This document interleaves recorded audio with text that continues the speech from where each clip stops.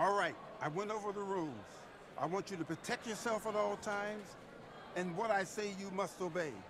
Good luck.